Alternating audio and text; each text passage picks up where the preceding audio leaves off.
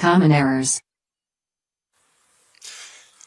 Jess, you were talking before about uh, mistakes that your Hungarian students always made, and how some students from the same country all make the same mistakes again and again and again.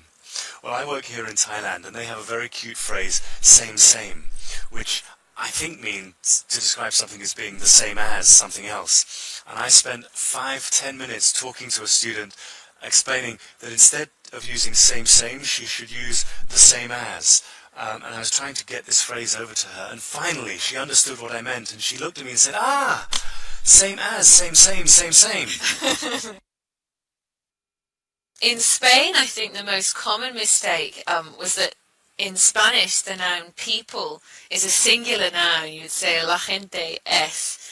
Um, so when my Spanish speakers would use this noun, they would always say, oh, the people is very hungry or the people is very quiet. And I spent most of my time in Spain going, ah, ah, ah, after they used the noun people. Even upper intermediate advanced learners were still making that mistake. In France, one very common uh, mistake was a pronunciation error. The sound th at the, be uh, at the beginning of words, for example, there or those, that the French would pronounce with a Z sound, so there or those. And I was very reluctant to correct it because it's such a sexy accent and it sounds so much more gorgeous with the French z. Um, but I did have to correct it, and I was always uh, in France sticking my tongue out of my mouth to emphasize to them that their tongue needed to be forward of their teeth to make the correct sound. You said you, you worked in Libya. What were the common mistakes for Libyan students? One that always made me smile was when a cheery student or uh, the security guard at uh, the school or people that I met around the compound where I was living would give me a cheery wave and say, How are you? I'm fine. And it took me a good month or two before I realized in Arabic the question and answer do go together. It just sounds strange in English. I thought they were jumping the gun by answering their own question. Sounds like they were talking to themselves. And how about in Japan?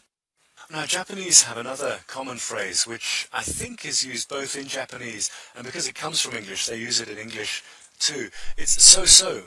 Um, it's, I'm not quite sure when you might use it. It's when things are not quite good, not quite bad. So if you say, hey, how are you doing?